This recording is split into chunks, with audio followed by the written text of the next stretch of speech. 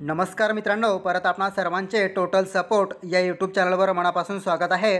आताची सर्वात मोठी बातमी सरकारी कर्मचाऱ्यांसाठी आलेली आहे. बघा सरकारी कर्मचाऱ्यांची सुट्टी ही रद्द करण्यात आलेली असून या संदर्भात तातडीनं आदेश देण्यात आलेले आहे. सरकारने कशा प्रकारचा हा निर्णय घेण्यात आलेला आहे आणि या संदर्भात अठरा मेपासून नवीन नियम लागू करण्यात आलेला आहे.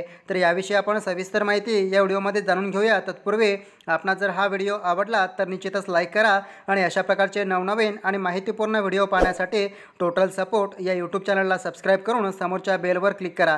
तर चला काय हा निर्णय सविस्तर माहिती जाणून घेऊया. तर मित्रांनो सरकारी कर्मचाऱ्यांच्या सुट्टी संदर्भात कशा प्रकारचा मोठा निर्णय घेण्यात आलेला आहे?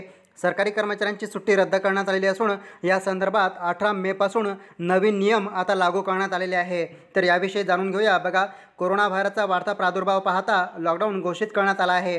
लॉकडाऊनमध्ये सरकारी कर्मचाऱ्यांसाठी काही महत्त्वाचे निर्णय घेण्यात आले आहेत.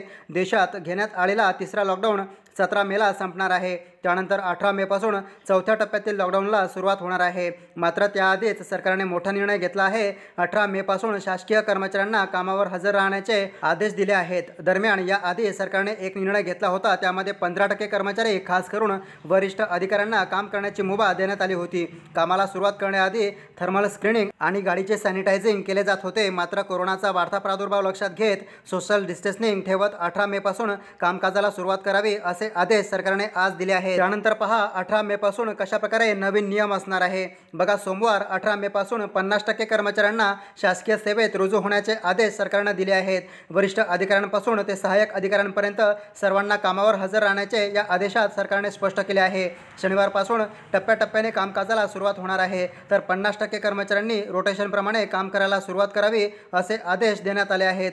तसेच शासकीय कर्मचाऱ्यांची शनिवारची सुट्टी लॉकडाऊन असल्याने रद्द करण्यात आली आहे. शासकीय कार्यालय आहेत ती केंद्र सरकारची असोत किंवा राज्य सरकारची असोत त्यामध्ये पन्नास टक्के कर्मचारी अठरा मेपासून उपस्थित असणार आहेत.